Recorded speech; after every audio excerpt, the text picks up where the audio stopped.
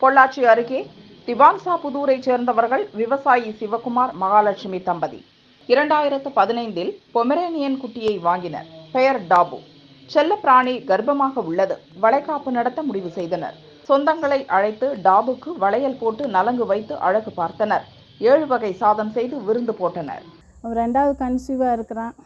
அவன் வந்து வளகாப்பு பண்ணணும்னு நான் ரொம்ப நாள் ஆசைப்பட்டுட்டு இருந்தோம். அதனால் சுற்று வட்டாரத்தில் இருக்கிற அண்ணா சித்தப்பா அண்ணி நாத்தனான்னு இப்படி பக்கத்தில் இருக்க தோட்டத்தில் இருக்கிற எல்லாரையும் வரவழைச்சு அவனுக்கு பிடிச்ச ஏழு வகை சாதம் அப்புறம் ஸ்வீட்ஸ் என்னென்ன வகை அவனுக்கு பிடிக்குமோ அதெல்லாம் வச்சு அப்புறம் பூ மாலை பழம் எல்லாம் வச்சு அவனுக்கு வளகாப்பு நடத்தியிருக்கிறோம். அவங்க எல்லாருமே ஆசீர்வாதம் பண்ணியிருக்கிறாங்க.